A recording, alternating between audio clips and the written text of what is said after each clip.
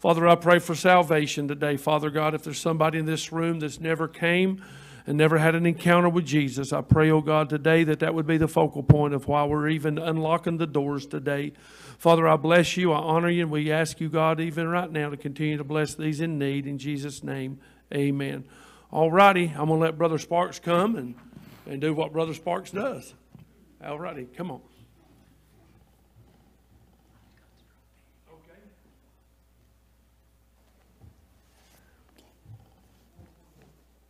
Well, good morning.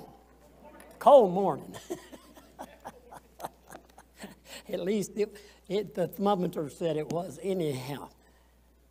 Oh, but it's good to be back in the house of the Lord today, and it's good to be here as well as we are. You know, when we get our age, you get, you get up every morning and you just thank God that you're able to stand on your feet. and put faith and trust in God today that everything is going to go according to His will and His purpose and His plan. Amen. What we're studying about today.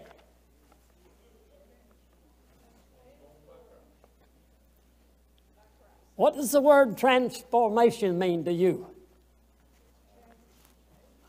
Huh? Changed. Changed.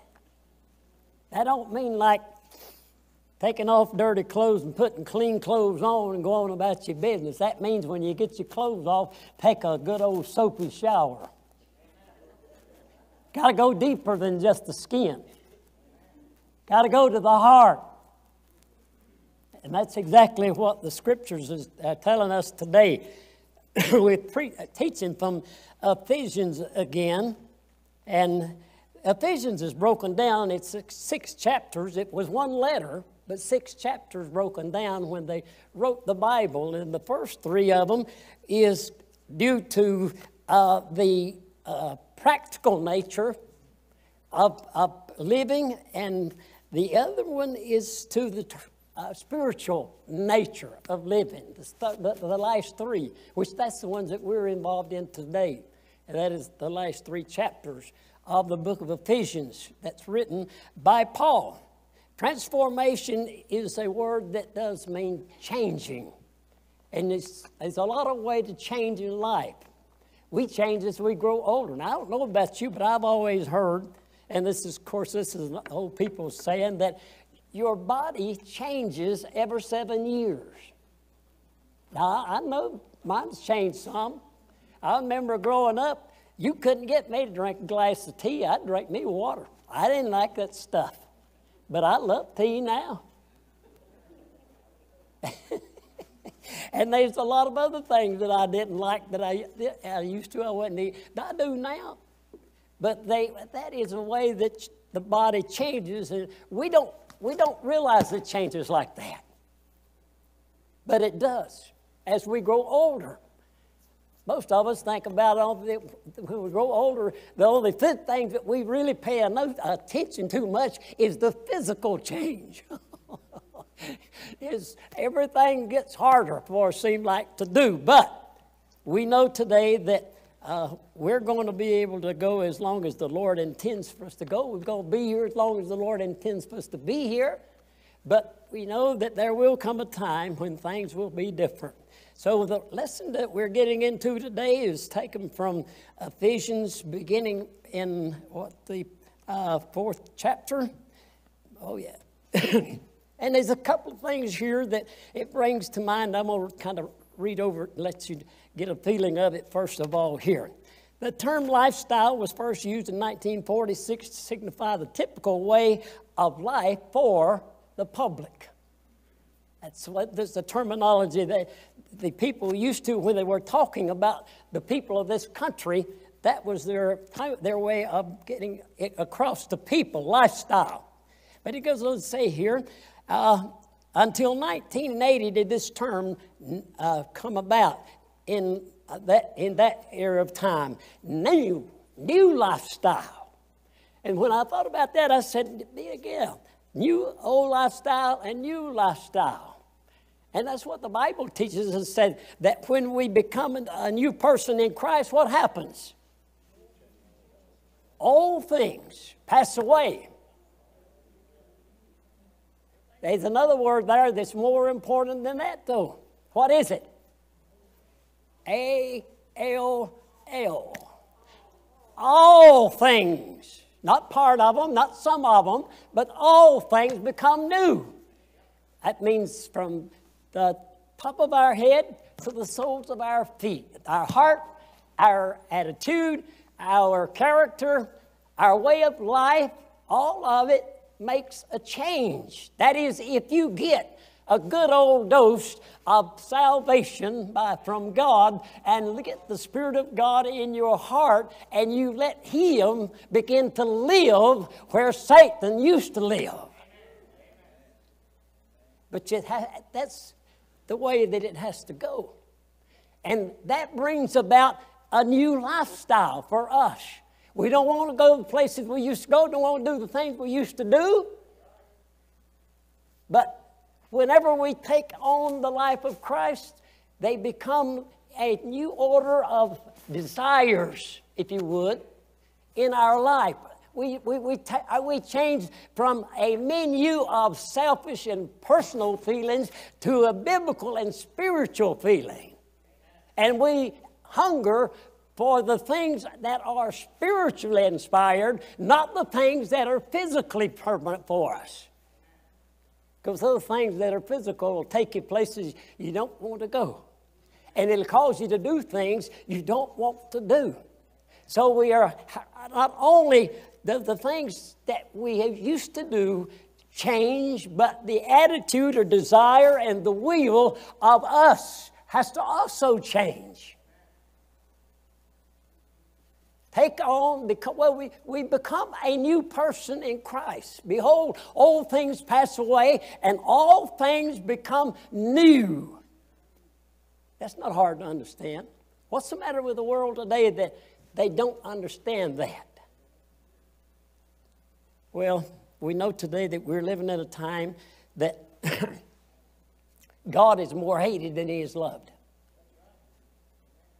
If you notice, if you're watching TV and you notice TV, whenever most of the people now that at, at these big sporting events and all, that when they pray, how do they close their prayer?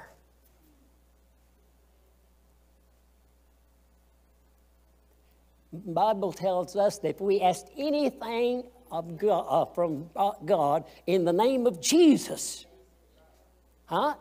In the name of Jesus, that's the, you used to hear that at the closing of most all prayers that were offered. Now then, they won't even let a minister use the word Jesus. If he does, he don't get to pray. Now, what do you think? How do you think that that would, would register with God? People's hearts are, as Isaiah teaches us in uh, the book of Isaiah, and I'll, I'll get over here and read it. He said, Wherefore? And by the way, this is 29th chapter of Isaiah and the 13th verse. Wherefore the Lord said, For as much as this people draw near to me with their mouth and with their lips, do honor me, but have removed their hearts.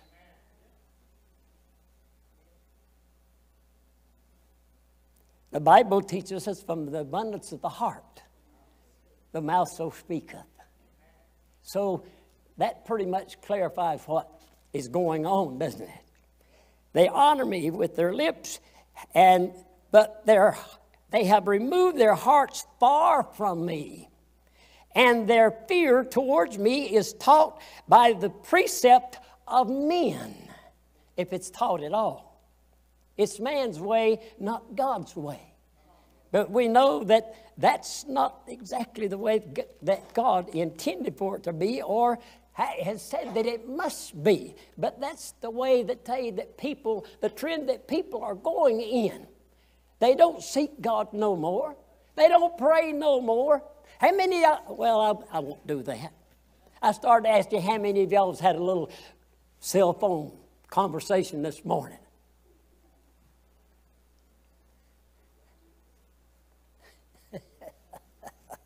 Hey, I don't have one. I have a cell phone, but it's one of them little bitty things. It, will ring, I'll answer it. And when I make a telephone call, I punch in a number and I get who I called for. Other than that, that thing don't mean a thing in the world to me. Yeah. Yeah. But just stop and think. If we as Christians would devote one tenth of the time to God in our life each day that we do on a telephone,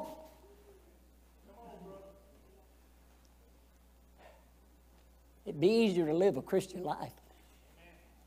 Yeah. yeah. Which do you think is the easiest? To be saved or to live a sanctified Christian life? Huh?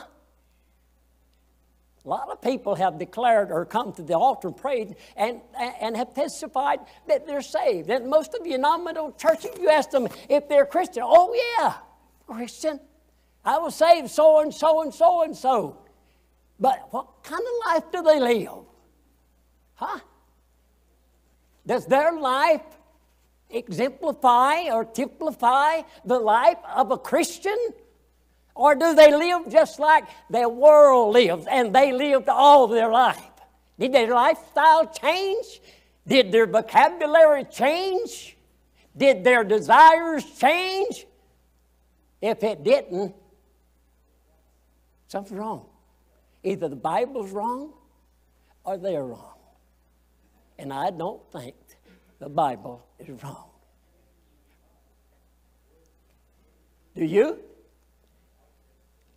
The Bible tells us in no uncertain terms, and this is back in Isaiah. People say, oh, I, have read that in the New Testament. But what did Isaiah tell us here in uh, the uh, 55th chapter of it?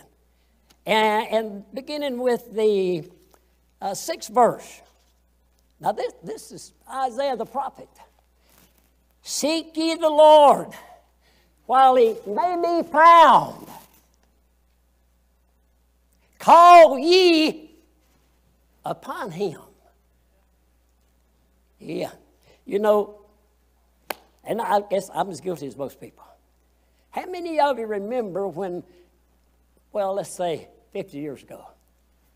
And I've been in the church quite a bit longer than that. Fact of the matter, I was looking at a book this last week and I opened it up and it said a gift from Reverend Bill Harper to Bobby Sparks, 1953. So I've been in, I've been in it for a while. But when, what, you know what intrigued me more about the, the Church of God than anything, and I, and I was raised up in a primitive Baptist church too, by the way. They shouted, they washed feet. You remember they used to have the foot washing. They had July the 4th, they had a whole social, what they call an association. It was a whole week of preaching and washing feet, yeah, of church. Yeah. And when they went to church of a morning, they got home in time to milk the cows, and that's about it. Because there'd be three and four and five preachers that would preach during the day. And they didn't preach no 15 or 20 minute sermon, honey. Uh uh-uh. uh And not only that, but another thing. When I got into the church of God, First time I ever went into it, I, I'll admit it, I didn't know what was going to happen. I wondered if I was going to get out alive, really.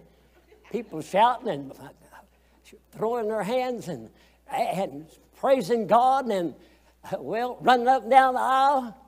And when it come time to pray, I was used to a nominal church. They called on brother so and so to pray. He stood up and prayed. Everybody else sat there real quiet. Boy, that didn't happen then. When they said, let's pray, everybody hit the floor on their feet, and everybody began to raise their hand and pray out loud and called on God. Yeah. What do we do now?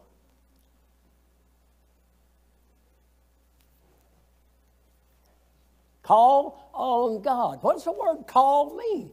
If your dog got lost and, and you, was, you, you was looking for him, and would you go outdoors and say, hey, Fido, Fido, hey, Fido, come on, Fido, where you at? Yo, no, no, no, no, no, no. You'll be hollering, hey, Fido, where you at? Hey, Fido, get yourself here. Hey, Fido, come home. What's happened to us? Huh? You know, the word whisper, as far as I can tell, is only listed twice in the Bible, and it's not a good term used in. But the Bible tells us to call upon God verbally. Yeah. Open your mouth.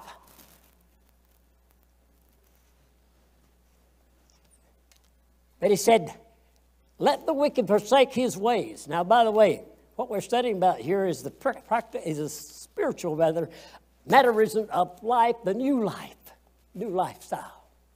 And so, in order to live a new lifestyle, we have to know what the Bible tells us to do and what we have learned from experiences with God. Bad experiences will stick with you a, whole, a lot longer than good experiences. You know that? You learn from bad experiences. That's, that's what, when I was growing up, man, and something happened, and, and my dad said, How'd you do that? And tell me, say, Oh, well, you'll know better next time, won't you? You learn from experience. And experience, my wife's dad, he always said, Well, experience costs you more, but it's the best teacher because you don't forget too easy. I think we forgot our experience with God.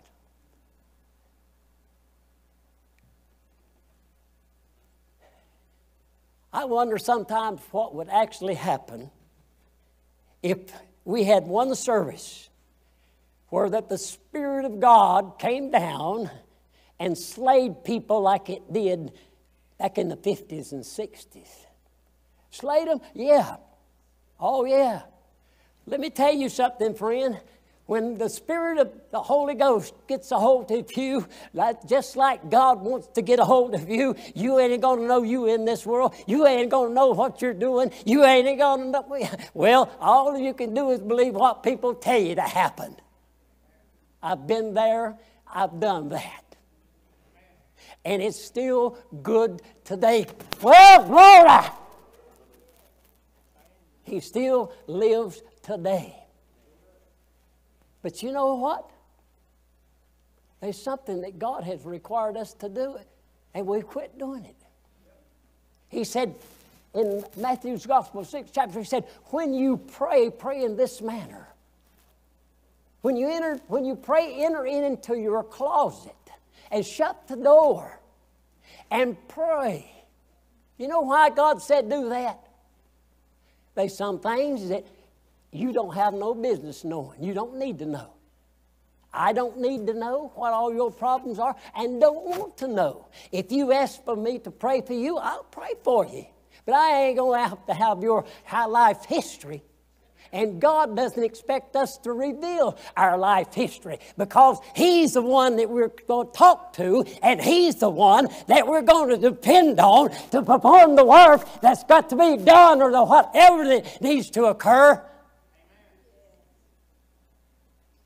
And all we need is, your support.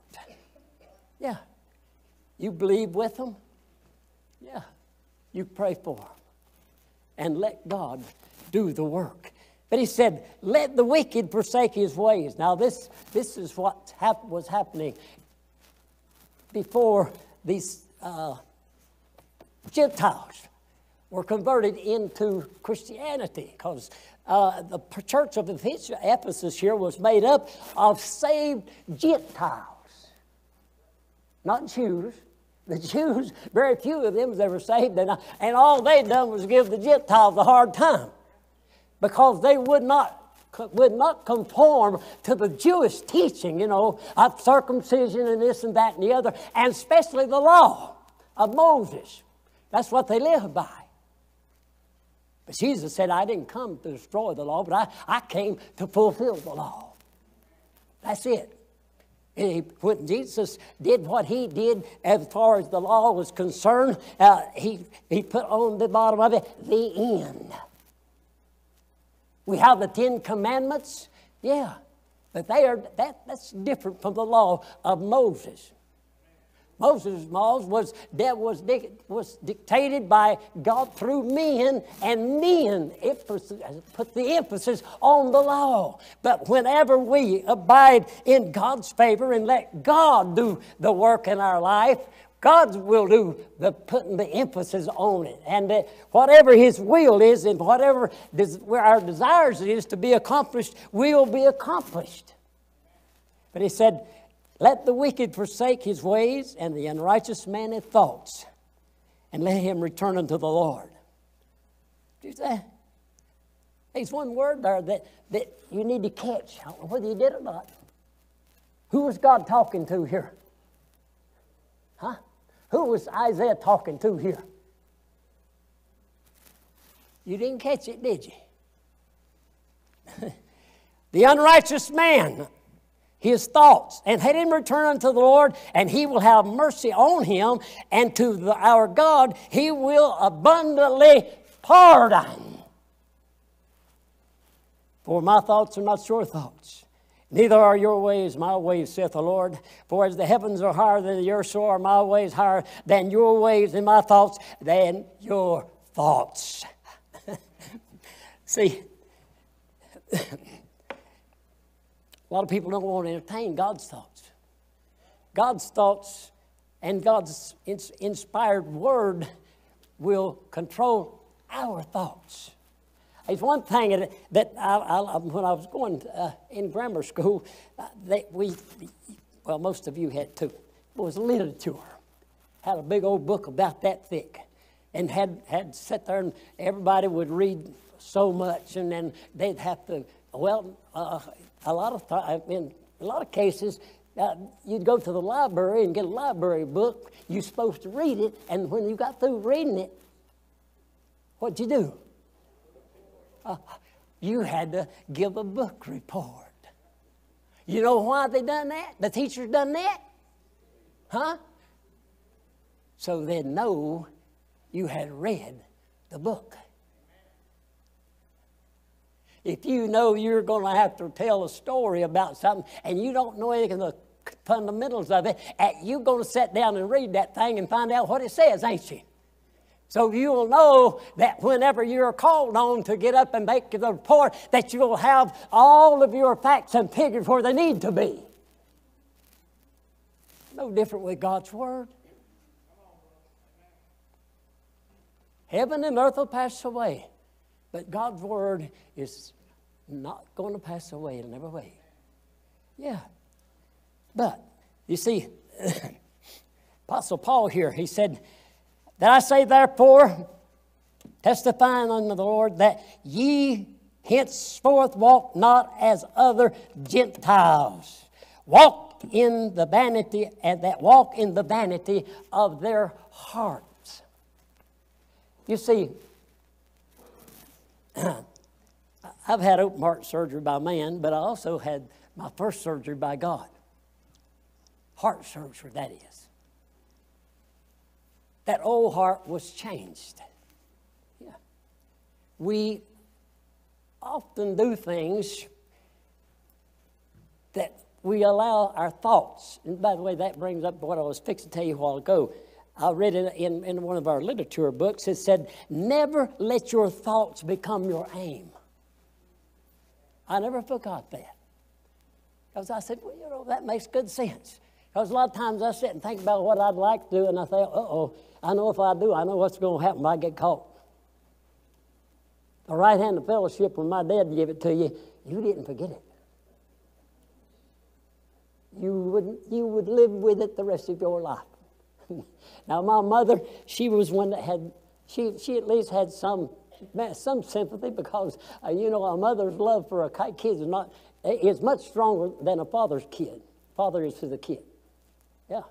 My dad was one of those when he when he started whipping you, it was like he was fighting a, a, a, in a ring with some other opponent. I, I, the, the last time that I remember that my dad gave me what he called a real good thrashing was that the, he, he didn't stop because he wanted to, but we lived next door to a policeman, and he happened to be out in his backyard. And he walked down to the house and he grabbed my dad by the arm and pushed him back and told him, said, if you hit him one more time, I'm going to put you in jail for abuse. That's right. I'm not kidding you. That's the truth. I ever told it, God be my witness. Yeah. That's the kind of that's kind of thrashing that we got growing up. So when when Dad said, I'm going to give you a whooping, he didn't say when. A lot of times he'd wait till you went to bed. Yeah, and pull the cover back and lay it on you. Yeah.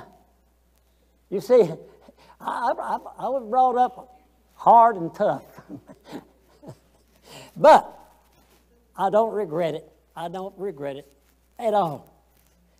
I've, I have uh, lived a life, and I, have only, only only twice I've ever seen a jail cell inside, and, and I went there as a Gideon then to talk to the people and give them Bibles. so I, have I've been very fortunate and had, had a good life. But anyhow, going on there. Peter is one that also made a lot of comment in regards to the life that we must live. And what happens? Well, he tells us here, about it, and I'm going to read to you in the sixth chapter here in verse uh, 17. Wherefore, come out from among them and what? Be ye separate I used to produce messages that we used to hear preached a long time ago that's called a message of sanctification. The Bible speaks a lot about sanctification. Sanctification is a, if you translate it, that word, uh, translate that word, it means sanctified means purified, cleaned up, cleaned up washed up. Don't diddle daddle in the world. You know, a lot of people have religion, but it don't go, it's not skin deep. It, they, they didn't have a change of heart, and they didn't have a change of life. They've lived the same old life. They're just like a clown putting on a suit and performing. And that's all they do perform. But that won't get you to heaven. That won't get you through the door. So, let me find, find let me find what I'm looking for here. that for this cause was the gospel preached. This is Peter 4 and 6. For this cause was the gospel preached, and also to them that are dead, that they might be judged according to men in the flesh, but living according to God in the spirit. Then you go over here to uh, there 17. Said, listen, and that this is where the rubber really meets the road. We're studying about church people today. We're not studying about the world. We're studying about ourselves. For Peter tells us in verse 17 of the fourth chapter for the time is come. That judgment must begin where? Huh? In the house of God.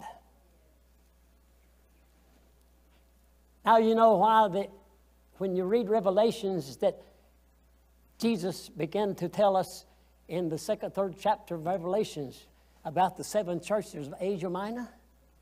Yeah. He wasn't talking about the world. He's talking about the church. Yeah. You know what he talked to? You know what his problem was with the Ephesian church? And you've heard Brother uh, uh, Scott telling all about it. But you know what happened to them? Same thing has happened to the church world today. You have. Here it is. Time is coming, judgment must begin at the house of God, and if it first begin at us, with us, Christians, supposed to be. What shall the end be to them that obey not the gospel of God? That's not a hard answer, is it? The Bible said you're going to die and you're going to be judged, you're going to go to hell. And you're going to burn in fire for eternity. For the fire is not quenched and the worm dieth not. But he get on, he said, and if the righteous, this is what gets you scared. If the righteous scarcely, what's that word scarcely mean? Just a few. What does the Bible tell us about what's going to happen in the last days? except there's a great falling away? Well, you talk, I talk to a lot of different people or have in the past going running a business that I've run, and wasn't nothing that most of us that know each other well, we'd talk about churches. And they'd ask, well, how's your church doing? We're fine. Well, get along like usual. But if the righteous scarcely be saved, he said, where shall the ungodly and the sinner appear? In other words, I say put it like this. You know what a balance set is? It's a weighing or weigh measuring type of machine. It sits on a pedestal. It has two plates. And as long as they're empty, the crossbar is perfectly level. But whenever you put a weight, it can be a penny, it don't matter. That crossbar don't stay level. It begins to drop on the side with the weight. What are we weighted down with? What is our load that we bear? Huh? Hey, what hindereth you, old man? You did run well. What's been your, what is your problem now? What is the world's problem now? They love the world because they lost the love of God. Anybody that says that they love God more than they love the world and can't get to church but at 11 o'clock on Sunday morning, I say they better be praying. You know, the Bible, te- I, have I've heard all my life, and I'm a so solid believer of it. Action speaks a lot louder than your words do. Don't tell me, show me. And that's exactly what God expects out of all of us. It's not what you say, it's what you do. Because if your heart is right, you're going to say the right thing. You don't have to worry too much about that. Because the Bible said, out of the abundance of the heart, the mouth speaketh. Mm.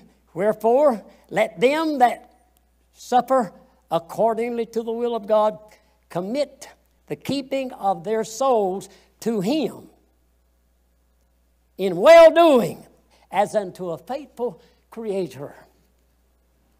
You know, I thought wondered. When God created Adam and Eve and put them in the garden, they were perfect. I used to tell, tell everybody, and, and I believed it myself until I, I, got real serious and started reading the Bible and studying it, not just reading it. That there had never been nobody in this world but since Adam and Eve that was perfect but God. But that's not what the Bible said. Read Job. The Bible said Job was a perfect man. Now, I, I can't make that any plainer or I can't darken it out any. That's what God said. And God is the judge. That Job was a perfect man as far as God was concerned. Not the world, not, Job, not, not Job's friends. Job's friends is like the world friends today. They accused him of everything in the book, trying to figure out what in the world is this problem, Job? Why in the world are you suffering the way you suffer? God tells us that many are the afflictions of the righteous. Did you know that? Just because you're a Christian don't mean you ain't to never have a sick problem. God said, Many are the afflictions of the righteous, but my God shall deliver us out of them all. Hey, you know what? A lot of people don't realize one thing. You might have that problem for the last 10 years or so of your life or all your life. Some are born like that. But there will come a time when God calls them home. That old diseased, sick body is going to go back to the dust of the earth where it came from, and the soul is going to take its flight back to God who gave it, according to Ecclesiastes. Yeah, it's just that simple. Yeah. My brother that just passed away felt so sorry. I think, eh, to me, uh, the cancer like he had is the cruelest death about it that a person can die. He, he, he, he always told me every time I was there, he says, you, you know, I've served God for many years and, and I'm ready to go. I don't have a thing in the world to be worried about. I'm ready to die. I wished he'd take me out of this old sick body. But he didn't. He went from over 150 pounds down to less than 100. Skin and bones. Yeah. To me, that's a, that's, that's a cruel death. But why did he have to suffer? I don't know what God's plan or purpose was. I don't know what God's plan or purpose is for my life. Neither do you. That's the part that God only knows Himself. God only knows the number of days that we're going to be on this earth. But He said it's appointed unto man wants to die. That we can all count on. You can put that in the bank. It's appointed unto man wants to die, and that's not the bad part. My brother was glad to die. And I was happy for him. And I prayed to God, deliver him out of that sick body. When I had to go to see him, and, and he was so sick he couldn't even talk, hold up his head. Yeah. And pray with him. And he'd say, God, help me. God, take me on. Yeah, that was his prayer. And everybody said, Well, I'm sorry you lost your brother. Well, I'm, I'm sorry that he had to die. But I thank God that he did something that I prayed him to do, and that was deliver him out of that old sick body that tormented him day and night. And that may be the only way that we'll be delivered, but we will be delivered because this old body is not going to go nowhere from this earth. From dust we came, and dust we shall return. Naked we came into this world, and naked we're going to leave it. Woo, glory! Don't care what you've got. Don't care how rich you are, how big your bank account is. Don't have a thing to do with God except you better have obeyed the Word of God. I count my success not being because, well, you're looking at it as far as I made in school was eighth grade when I was, went to the first grade in high school, and, and I liked all my subjects except English. And I'll tell you what's honest truth. I thought that was the stupidest mess that I'd ever tried to learn in my life. I just quit. I quit. I went to work when 16 years old. Yeah. And up until, up until this year, I worked pretty good study, study all the time. Yeah. But I, I gave God the credit. God's the one keeps me on my feet. God's the one that wakes me up every morning. You know why? The last thing I do of a night is thank God for the day that I've had, good, bad, or indifferent. Ain't no day bad. Well, if it's bad, we made it bad. God didn't make it bad. I pray God help us through the day. God deliver us from our adversary. God give us grace to overcome. God give us grace to, to walk the walk, talk the talk, and live the life. Every morning, seek ye first. Ain't that what Isaiah said? Seek ye first, not second, third, or fourth. Not after two or three cups of coffee, big breakfast, or reading the newspaper, this and that and the other. Mm. God, wants to, God wants to come first. You ought to try it if you ain't. You ought to see how good it works. I'm 85 years old, and it works good for me. It works better now than it used to, because used to I didn't do that. But you know why the older I got, the wiser I got. Yeah, in the Word of God. I began reading it, not just read it, but I began to study and analyze it. Then say, God, just what does this mean? Huh? If we had a, we've got a direct connection with God through the Spirit of God. And He is our, He is the, the uh, guess you'd call He's the, what, what is it they call they uh, got somebody that takes care of your estate?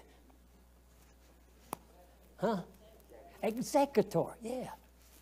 Yeah, the Holy Spirit is like an executor. God has a will. Do you know that? God is not willing that any should perish, but all should come to repentance. And the Holy Spirit is the executor. Whenever it comes to pass, you know how it's going to come to pass? From God, through Christ. Where does it fit in? The Bible said He's our propitiation. He is our advocate. You know what that means? He's sitting at the right hand of the Father, and when you pray, in this and to God, the Spirit will will holograph it to God, to, to, to Jesus, and Jesus can look over to the Father and say, Father, would you give this or that? Would you give him this or give him that? Yeah, uh huh. Yeah, you go through Jesus. That's the reason the Bible said if we ask anything of God in Jesus' name, He'll do it. If we believe in our heart and doubt not. Huh? Some people says, "Oh well, I pray, but nothing ever happens." How do you know it don't happen?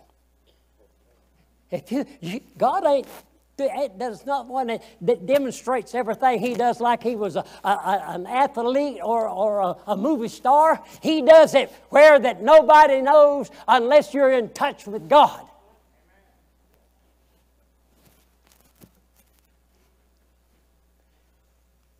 Lord have mercy. I didn't know all that was in this lesson. Did you? Mm. How to stay in touch with God through communication.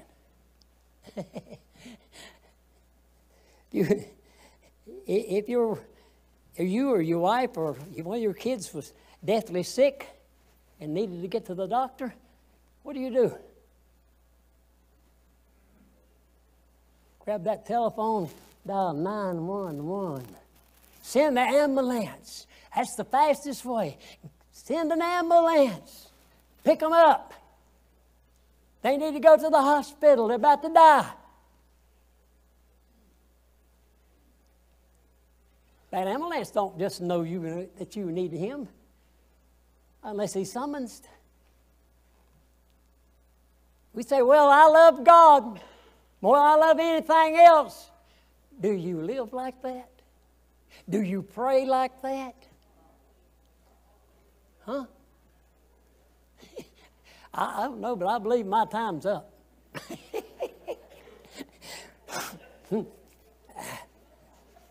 I've, I've, I've, still got a long ways to go, but I'm like the preacher. I'm not going to infringe on all this time as preacher's time either. Thank you for putting up with me again this morning. And may God, may God bless you. You may be dismissed.